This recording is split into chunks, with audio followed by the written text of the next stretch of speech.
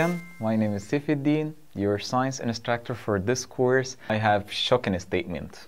Einstein wasn't the smartest man in the world. Do you know this? Is it a surprise? He wasn't the smartest man in the world. Let's take a look on the IQ level of Einstein comparing to other scientists. Here is the IQ level of Einstein. It's 160. And it's in the average of most of human. Newton was a smarter. The IQ of Newton was 190. But this is our genius. This is William James Sidis, the smartest man in the history. But would you like to know your IQ level comparing to them? Hey, don't be shy. Maybe it's close. But how do I know, Mr. Seif? By a test. Here, I have a test for you. This is one of the IQ questions that can determine your IQ level. Let's try to solve it and then find the result. In front of you a question and these are the answer. These are the answers. Would you like to try? Look at the question. You have four answers. Try to pick up one of them to be here. You have few seconds. You can stop the video, take time in thinking, and then tell me your answer. Okay, was it hard? Let's find out. If your answer was this one, this is totally right answer. But how, Mr. Seif? I didn't even understand the question. This is simple mathematical equation. Let's take a look. Can you count? How many circles do we have here? Excellent. Three. How many lines do we have? 2. And how many triangles do we have? 4. Let's add them to each other. 3 plus 2 plus 4 equals smart 9. How many triangles do we have here? 4 plus how many lines? 3 plus how many circles do we have? 2 equals Amazing. 9. It's the same result of the previous line, but in three different shapes. Here, how many circles do we have? We have 4. And how many triangles do we have? 2. So, the other numerical value that should be added to them must equal 9. But what's the missing shape? Here we have circles triangles. So we need to add three but lines because the lines are not found here. Where are the three lines? Over there. Before taking the other question, I need to mention something. The time that you spend in the previous question to catch the right answer known as reaction time or response time. It was long time, but this is at the beginning only. Our nervous system helps us to understand by practicing. This is why I'm sure you're gonna find the right answer of the following question in a shorter reaction time, in a short response time. Let's try. Here is the question and here are the answers. Try to figure out which one of them represents the right answer.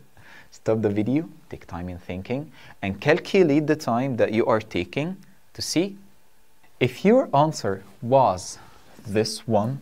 This is totally right answer. And if you catch the right answer in a shorter time, that means you are improving. Your brain is getting better. So here, the shapes are getting closer to each other until they be inside each other. The same here. They are moving until they be inside each other. Here, the shapes are getting closer, so they're gonna be inside each other. Excellent amazing idea. And I catch it really in a shorter time. It feels like I'm getting smarter. But what's the link between this and our lesson? Is this just a game? No. This is our lesson. Uh, what happened at the beginning of this lesson is the same what is happening in your life every day. If you have a hard mission, hard question, don't give up. Your life is full of problems. Are you going to give up by just trying once? No, try to understand, try to practice. And now tell me, which system inside our body is responsible for this process, for thinking, translation, understanding, how does it work? Exactly, it's the nervous system. Our body is full of systems in front of you, many systems, but the one that responsible for processing the information, understanding what is happening is the nervous system, which is made up of the brain and other organs. But can you expect how many organs do we have? Right. We have three main organs. Brain, which is the location of the brain? In the skull, in the head here. Right. What's the function of the brain? It's the main control center of the body. It processes the information, understand, translate, helps you in everything, giving orders. The second organ lies in front of you, which is the spinal cord. It's like a connection between the brain and the other body organs. But what is the location? Where is the spinal cord inside our body? In the middle here? Not exactly. It's inside the backbone. But why? Give reason. The spinal cord passes within the backbone. Mm, bones, it's hard. Maybe for protection? Yes. The spinal cord is so sensitive organ, like the brain. It's so sensitive. So the brain is covered by the bones of the skull to protect it.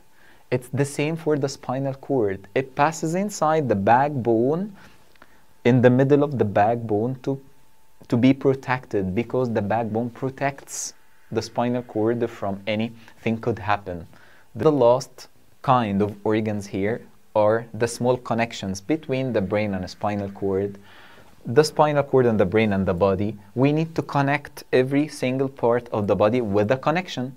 These small connections like wires to connect everything, to connect every organ, these connections are known as nerves. Let's study them one by one. Remind me what was the function of the brain? The main control center of the body. What's the function of the spinal cord? It connects the brain with other body parts with the help of nerves. Uh, where is the location of the spinal cord? Inside the backbone. Also, it's responsible for something known as reflex action. What does it mean, reflex action?